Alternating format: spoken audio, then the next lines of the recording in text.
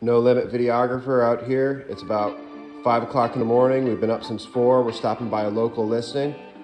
What's going on out here, Dylan? Uh, just stopping by, checking on things, make sure nobody's broken in here. But uh, yeah, this is one of my flips that's about to hit the market, back on the market.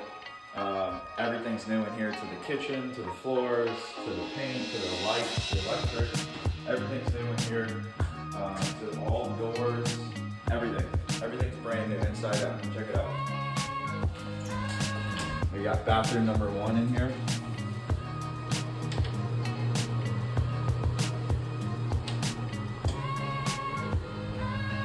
And uh, this is the master bedroom. Master bedroom, we got the master bathroom in here. Shows all the white mosaics. Um, love how the shower came out, looks really good. Got the bedroom, one and two. The three bedroom, two bath house. I think it turned out pretty nice. Got your screened in porch enclosure back here.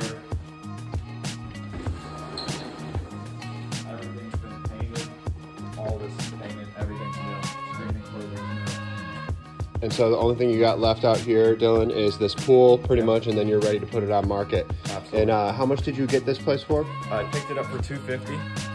Here, come in here. I'll talk to you about it. Um, picked it up for 250.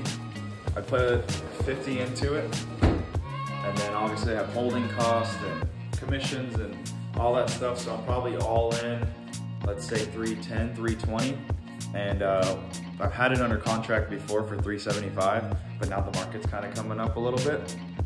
So probably put it up for 390 and uh, clear about 30 or 40 profit on this deal. I've had it for a lot longer than I expected, so um, the profit margin should have been a lot higher. But you win some, you lose some. You might you just got to cut your losses. So yeah.